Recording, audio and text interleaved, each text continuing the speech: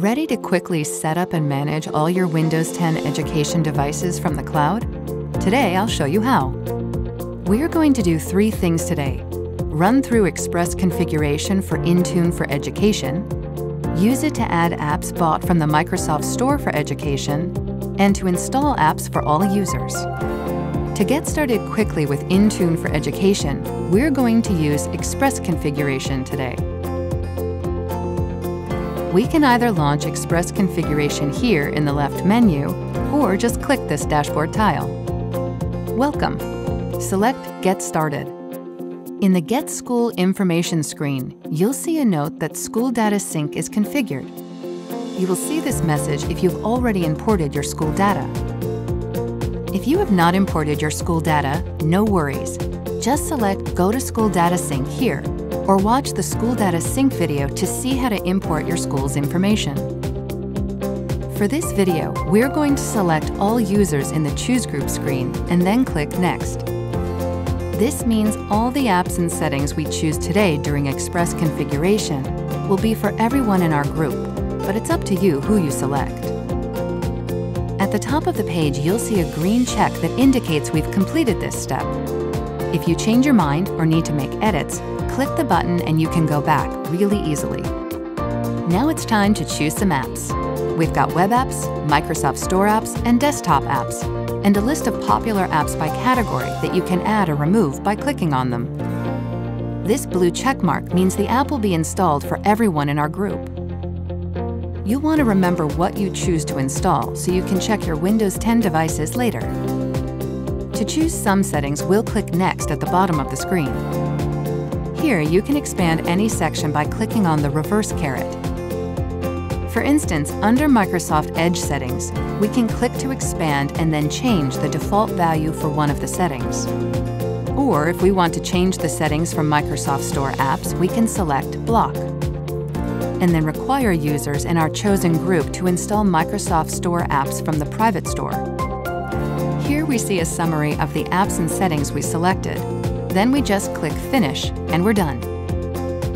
If you wish to go back to the dashboard, click the upper right X to dismiss this screen. But since we're all done, we're all good. Want to add some free educational and reference apps from the store? Let's do it. Did you know education tenants automatically get Office apps and trial licenses for Minecraft Education Edition if you'd like to purchase it or want to learn how to get, distribute, and manage permissions for Minecraft Education Edition, read this documentation. For now, in the Intune for Education menu, we're going to click on Apps. And in the Store Apps section, click New App. Now, here we are in the Microsoft Store for Education portal, and we're already signed in. We can browse suggestions by category or search for free educational or reference apps click Get the App.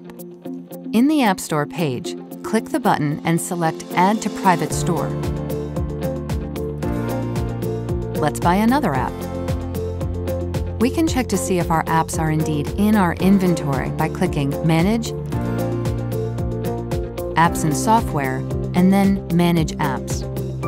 You can also see the Microsoft apps provisioned for your education tenant here. To learn more about this column where it indicates whether your app is in private store or not in private store, follow this link. Now let's finish up this tutorial with how to install your apps for all devices used by all users in your tenant. In the Intune for Education console, we just click Groups, and then we select all users to see the list of users. To see available apps, we'll go to the taskbar, select Apps, and then click Edit Apps. When we choose the apps we want to deploy to the group, a blue checkmark appears next to each one. We'll save our selection, and this notification shows us that our app assignments are being updated. And all the apps we selected will appear on the All Users group page. Review this video anytime you need a refresher about how Express configuration works, or how to add and install apps from the Microsoft Store for Education using Microsoft Intune for Education. Thanks for watching.